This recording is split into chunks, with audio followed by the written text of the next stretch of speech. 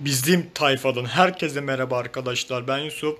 Bugün sizlerle beraber şimdi oksijen olmasaydı ne olurdu onu anlatacağım. Hadi şimdi videoya başlıyoruz. Oksijen bir anda 5 saniye yok oldu diyelim. Başımıza ne gelirdi?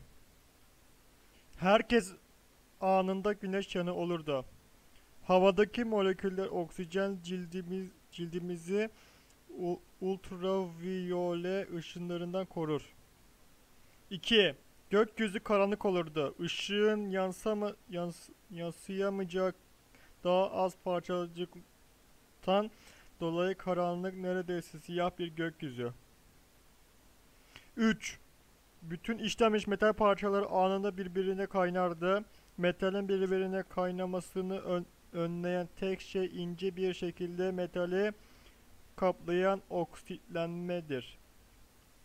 4. Yer, yer kabuğu çatlardı. Yer kabuğunun %45'i oksijenden oluşur.